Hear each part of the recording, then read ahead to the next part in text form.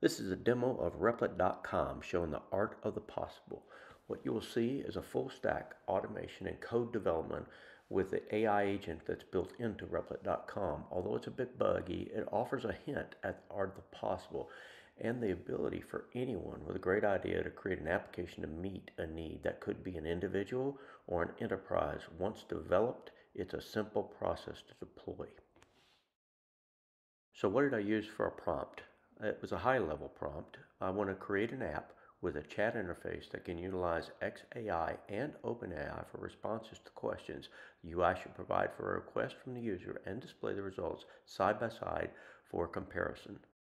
The application, Replit.com, is really simple to use. It's intuitive. I've never read any of the docs. I just took, uh, played around with the interface, and then you decide what you want to build.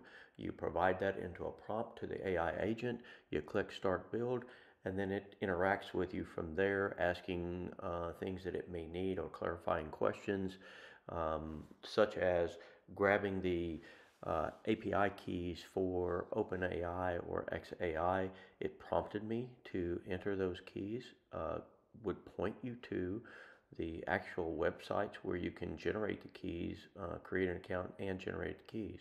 So I did all that. I entered that information, uh, hit next, and uh, it went out and started building.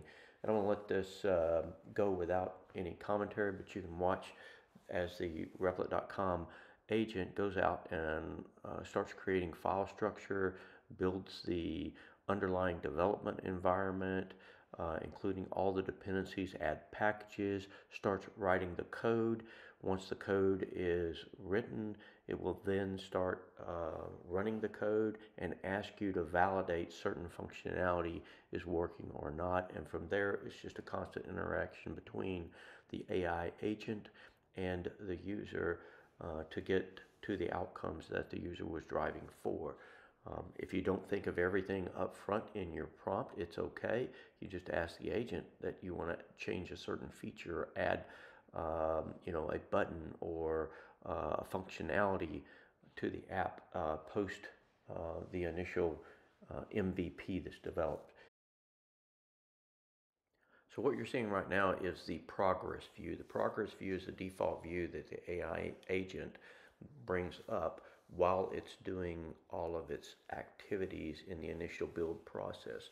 And as you see the information scrolling by, what you're seeing is that it's creating all the files that are needed to deliver the outcome that you've asked it for, whether those be style sheets, um, HTML files, Python scripts, whatever language you've specified, which you can specify which language you want the application built in. You also specify its dependencies.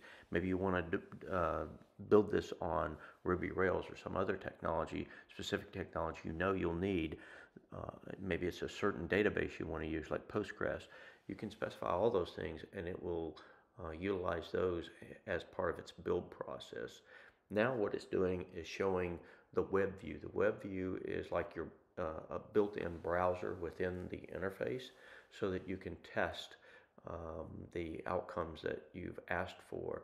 So it's now asking me to uh, test, validate the functionality that it thinks it's, it's developed.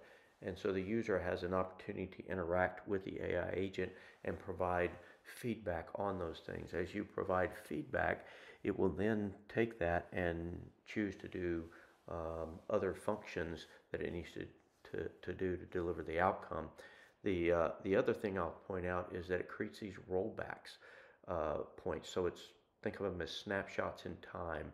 As it gets to certain milestones and you, you provide positive feedback that it's completed that task and that item is functioning, it will create a checkpoint so you can roll back to that checkpoint in case something goes wrong later on.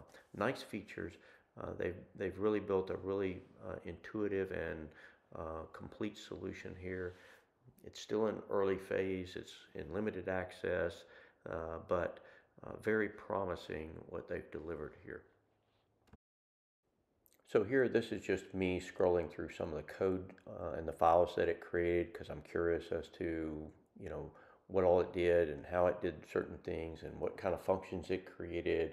Um, so that's just me scrolling through that. It's not the agent doing that. So it's asking me to verify some things, and I'm just happen to be looking.